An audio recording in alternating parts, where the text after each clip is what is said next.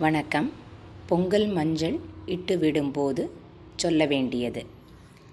தாயோடும் தந்தையோடும் சீரோடும் சிறப்போடும் பேரோடும் புகழோடும் பெருமையோடும் கீர்த்தியோடும் நல்வயதில் தாலி கட்டி பிள்ளைகள் பெற்று கொண்டவன் மனம் மகிழ தையல் நாயகி போல தொங்க தொங்க தாலி கட்டி பிள்ளை பெற்று தொட்டில் கட்டி மாமியார் மாமனார் மெச்ச நாத்தியும் மாமியும் போற்ற பிறந்தகத்தார் பெருமை விளங்க பெற்ற பிள்ளைகள் ஆயுள் ஓங்க உற்றார் உறவினர்களுடன் புதுமலர் சூடி புதுமா பிள்ளை மருமகளோடு புது புது சந்தோஷம் பொங்க பொங்கியது தங்க ஆல் போல் தழைத்து அருவி போல் பெருகி என்றென்றும் சிரித்த முகத்தோடு ஆண்டவன் அருளோடு ஆனந்தமாக வாழணும்.